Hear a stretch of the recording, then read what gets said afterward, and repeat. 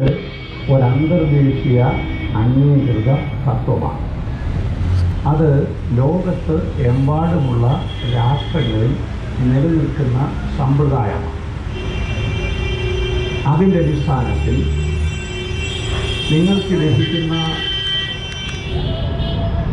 Pension എന്നുവെച്ചാൽ നിങ്ങളുടേതായ പണം നിങ്ങളുടെ മാനേജ്മെന്റ് പ്രതിമാസം നിങ്ങളുടെ അധ്വാനത്തിന് പ്രതിഫലമായി തരേണ്ട ശമ്പളം തരാതെ മാറ്റിവെക്കുന്നത് കുന്നു കൂടിയാൽ അത് ദുർവിനിയോഗം ചെയ്യുന്നതിന് തുല്യമാണ് സ്വകാര്യ ഇൻഷുറൻസ് കമ്പനികളെ ഏൽപ്പിക്കുന്നത്.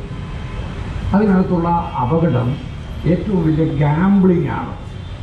അപ്പോൾ നിങ്ങളുടെ പണമെടുത്ത് മറ്റൊരാൾക്ക് ഗാംബിൾ ചെയ്യാൻ ഒരവസരം സ്വകാര്യ മേഖലയിലെ ഒരു കമ്പനിക്ക് കൊടുക്കുന്നു എന്നുള്ളതാണ് ഇൻഷുറൻസിന് കൊടുക്കുന്നു എന്നുള്ളതാണ് ഇപ്പോൾ നിങ്ങൾ അഭിമുഖീകരിക്കുന്ന പ്രശ്നം. അതെങ്ങനെ ചെന്ന് അവസാനിക്കുമെന്ന് നമുക്ക് മുൻകൂട്ടി പറയാൻ പ്രയാസമുണ്ട്.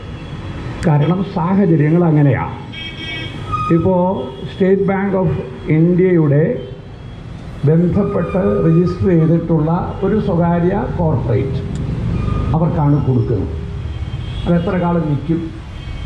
ഇന്നത്തെ സാമ്പത്തിക സാഹചര്യങ്ങളിൽ നിങ്ങൾക്കറിയാം റിസർവ് ബാങ്കിന്റെ തന്നെ നിക്ഷേപം നൂറ്റി എഴുപത്താറ് ലക്ഷം കോടി രൂപ ബാങ്കിങ് വ്യവസായത്തിന്റെ നിലനിൽപ്പിന് വേണ്ടി നീക്കി വച്ചിരുന്ന നിക്ഷേപം എടുത്ത് കളഞ്ഞിരിക്കുന്നു.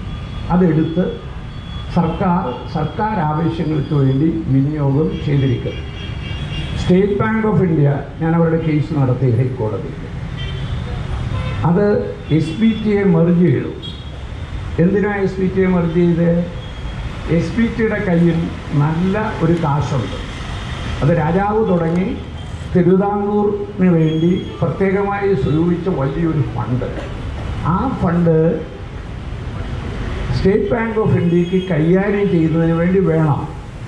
അതിനുവേണ്ടി അതിനെ മെർജ് ചെയ്തു ഗവൺമെന്റും മാനേജ്മെന്റ് തലത്തിലുള്ള ആളുകളും അവർക്കുള്ള അധികാരം ഉപയോഗിച്ചതെടുത്തു.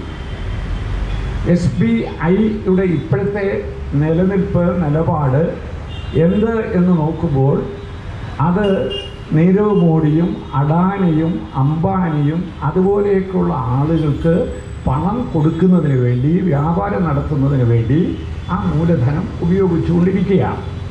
അപ്പോൾ ഞാൻ അതിലേക്കൊന്നും പൂർണമായിട്ട് കടക്കുന്നില്ല. ഒരു കാര്യത്തിലേക്ക് കടക്കാം.